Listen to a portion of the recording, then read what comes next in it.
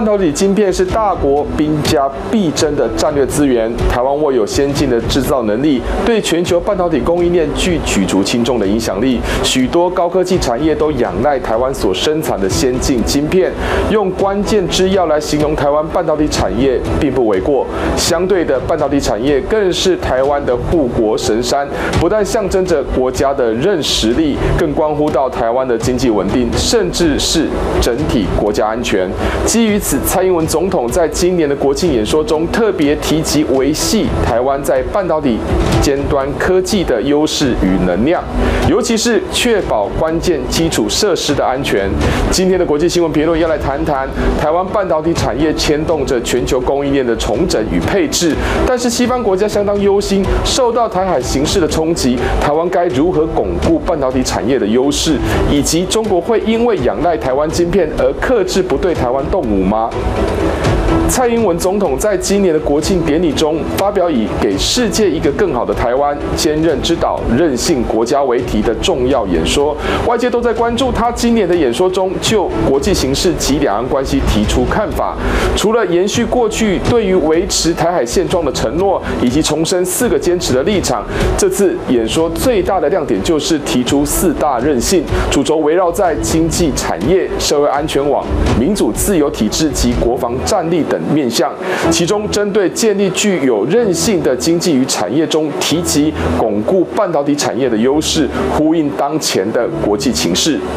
当然，台湾半导体的重要性已是全球公认的事实。日前，美国国务卿布林肯接受媒体专访时，曾表示，倘若中国对台湾进行军事攻击，台湾生产半导体能力因而遭到破坏，那么将会对全球经济带来毁灭性的影响。他的说法除了要强调美国制定晶片法案的必要性之外，更是展现美国拉拢台日韩筹组晶片四方联盟 Chip Four 的意志。当然，这都证明了。台湾在全球半导体产业的地位与价值，维护台湾晶片生产的稳定，不只是经济利益，更攸关着安全稳定。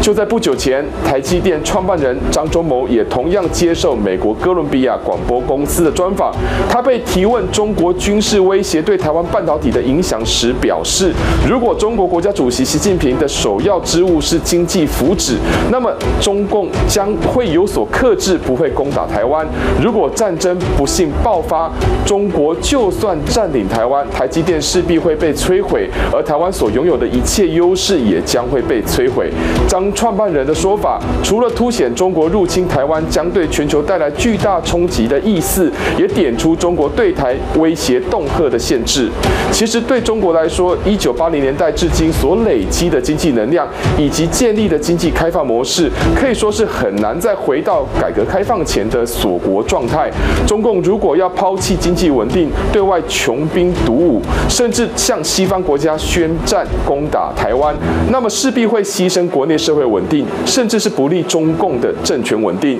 尤其是当前经济陷入困顿之际，在没有掌握新进生产技术的状态下，玉石俱焚摧毁半导体产业的代价，不仅会断送技术引进，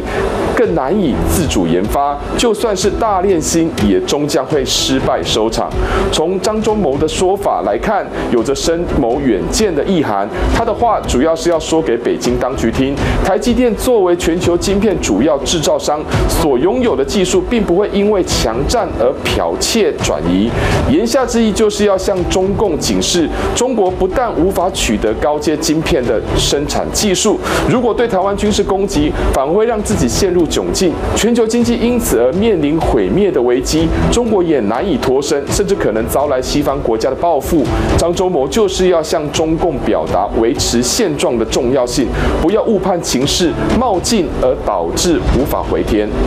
布林肯及张忠谋针对台湾半导体的看法，也显示蔡英文总统在这次国庆演说中的重要意涵。蔡总统要向全世界证明，台湾会维持巩固半导体产业的优势，在任何紧急情况下会维持产业的稳定供应及运作。其中，他特别提到要跟进国际接轨，从印太、新南向到中东欧地区，除了要促进合作，也要建立具韧性的供应链及通路。主要目的，一方面要取得国际社会的信任与信心，另一方面要借此来提高台湾链接国际的程度，以压制中国蠢蠢欲动的入侵野心。对台湾来说，半导体产业确实是台湾国力的象征之一，但如果仅靠晶片研发与生产，以及融入全球供应链的做法，恐怕还不够。这也解释了为何蔡总统提出的四大韧性，还包括了国防战力的提升。毕竟台湾提升自我防卫的意识，